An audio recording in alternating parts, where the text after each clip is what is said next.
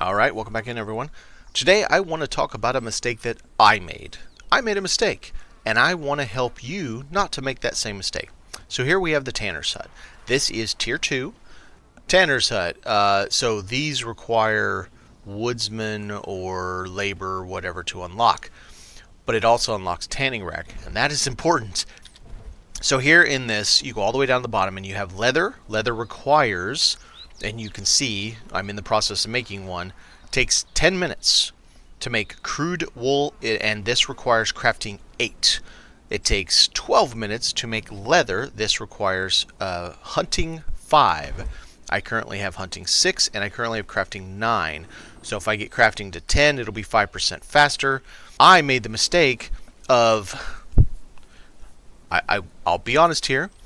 I, on my co-op game, and I'm I'm cussing out the devs uh, to my buddy. I'm like, this is stupid. Why why do I have to stand here? Because your villagers will not fill this machine. They they will not come over here unless they have hunting five and crafting eight. They will not do these two. And if you put one on here, guess what? You have to get through this before you can make anything else. If you want, oh, I want to make these, but no, too bad. You're not done with this yet. So you have to continue until it's done all 10 minutes. And it's awful.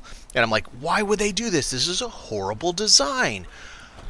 They didn't do that. They gave us something else, and I feel stupid.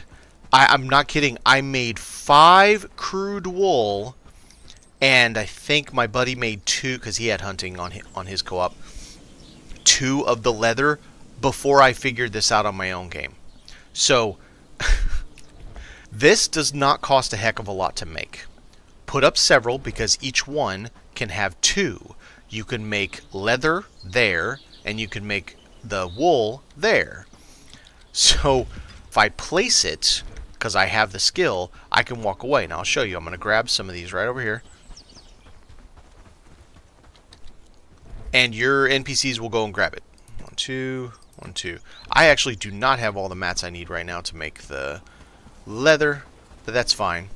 So we're going to come over here and there you go.